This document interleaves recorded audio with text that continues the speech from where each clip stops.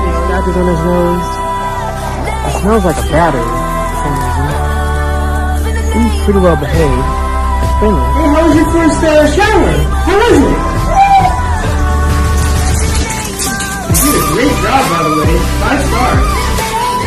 Good enough for that. You ready to be dried off?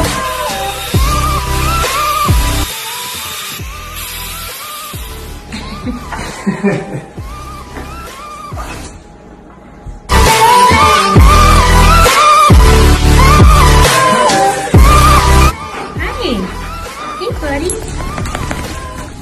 Ooh, you're extra fluffy. Ah, yeah. I'm gonna get so dirty. I'm rolling around. I'm getting dirty again. That way I can get another bath.